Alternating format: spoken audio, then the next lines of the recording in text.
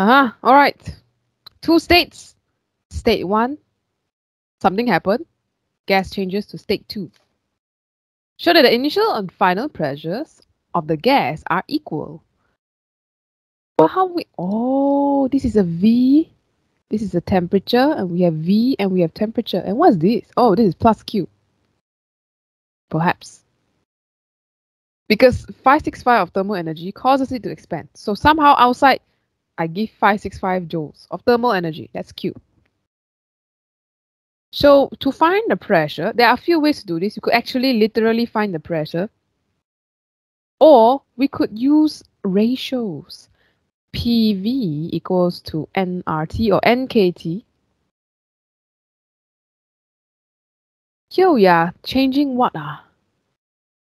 Volume got changed, ah, got. Temperature got changed, God.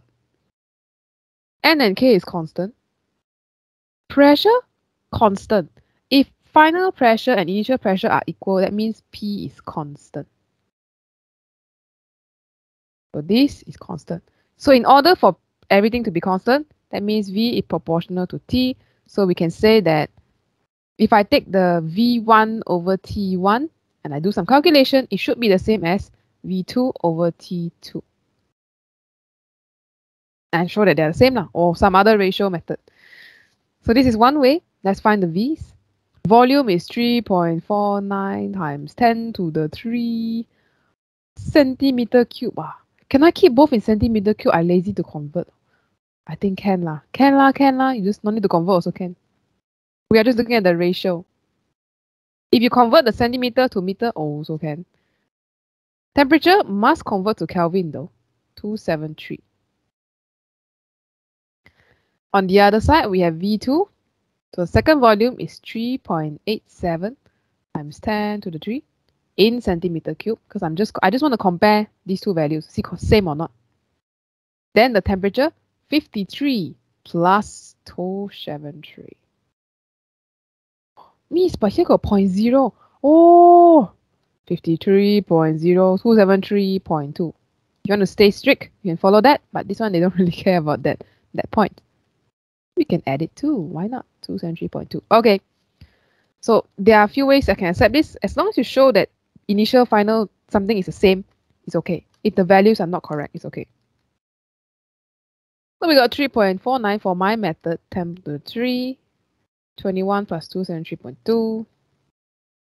Yeah, some 11.9, whatever number, it's a ratio.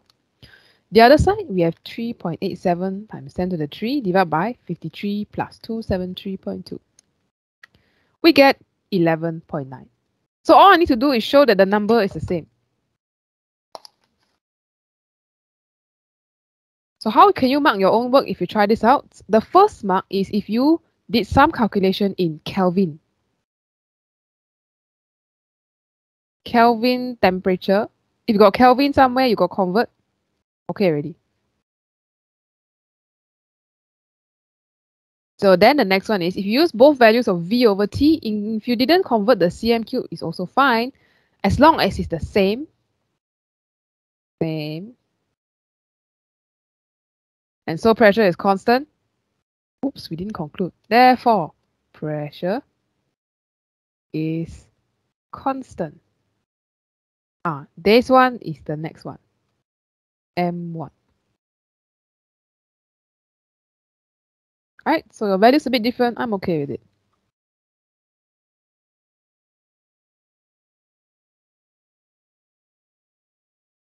So far, so good. Okay, I keep going out. If I'm going too far, say, Miss, wait, repeat this one again.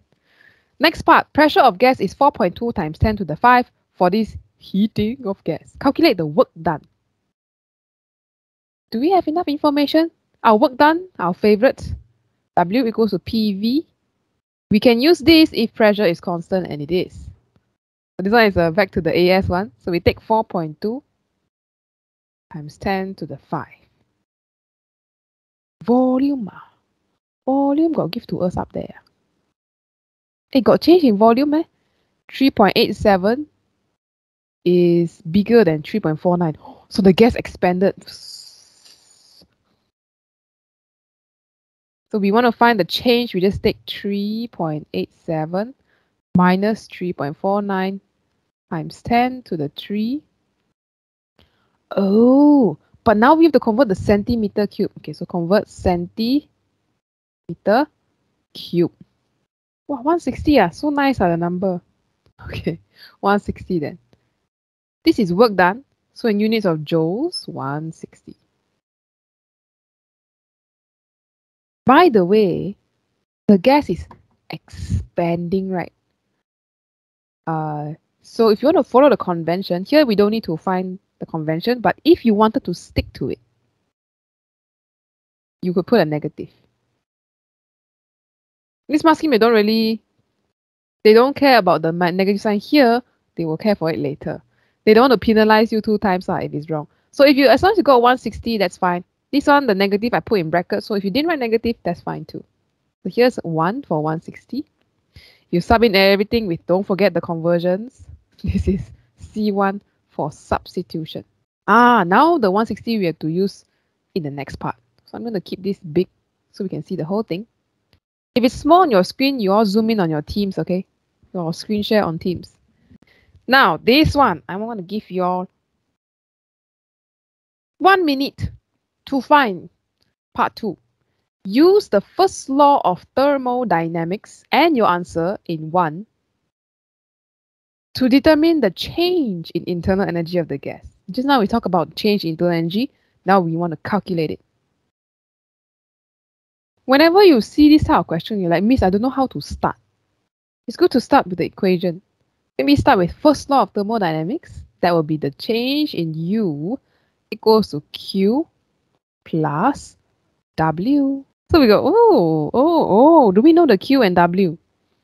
We want to find the change in internal energy. So you to look very carefully. Q is thermal energy supplied to the gas. External one. Ah. Here got Q man, no. Q, Q, Q, oh, Q. Q, Q, this Q. 565 of thermal energy causes it to expand. It's kind of like, remember we draw the container of piston? You put a fire here or something, then got uh this is a Bunsen burner. What do we use? A heater or something like that. So all the heat go inside. This is plus Q. so we do know the Q is 565, but it's a plus 565 joules of energy going in.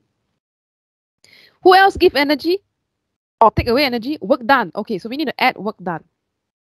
But wait, gas become bigger. So we need to put negative 160 joule. And then add 565 minus 160, that's 405 joules. Still positive. So overall, it's still an increase. This positive will tell you it's an increase in internal energy.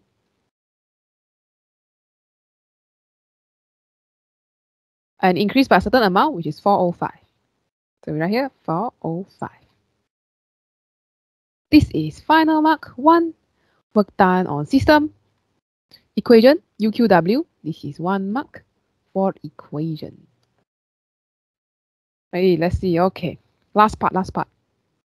So with all that in mind, the U, the Q, the W, explain why the change in internal energy, uh, kinetic energy of the molecules is equal to internal energy.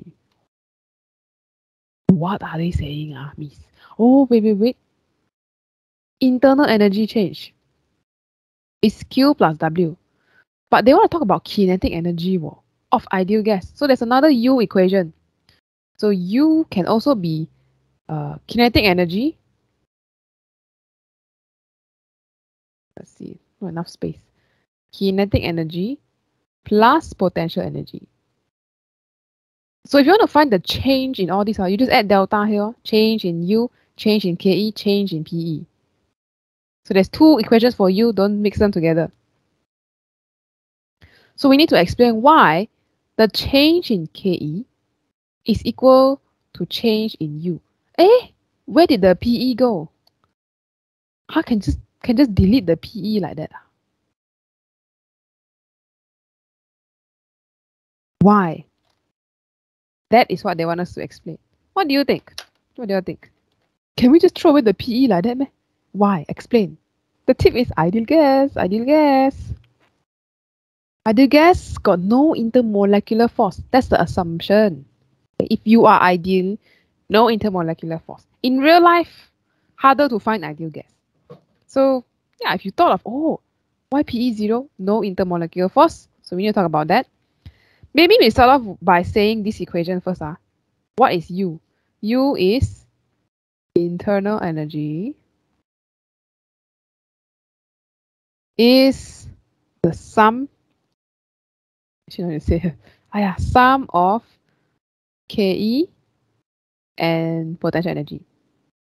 I shortcut a bit, uh, you can put EK, EP. You want to write it out if got space. Okay, so we established, okay, number one, this. But what happened to the PE? Now we talk about that. So we say that ideal gases has no intermolecular force. Intermolecular force.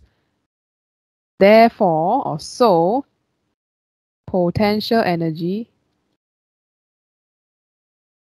is zero.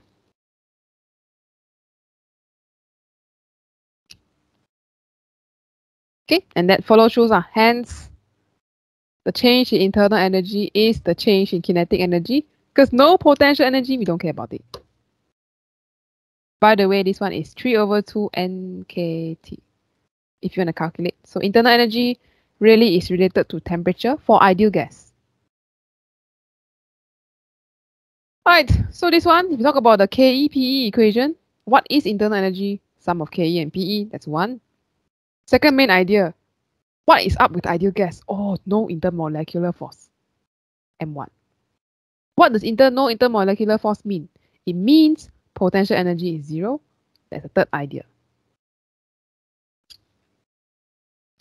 So you think of why is internal energy? Why, why, why, why? Ask yourself why. If you can explain why, then you can explain, you can answer the questions like these.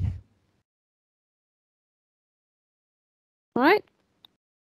But anyway, uh, if you want to try out more similar questions like this one, I just write a note here. Lah. I note down, uh, or rather a boss level version of this question. That's MJ14, uh, MJ18 P42Q2. I think it's on page 29. For future, if you want to try this out, boss. This one will get to twist your brain a bit. If you want to try it out.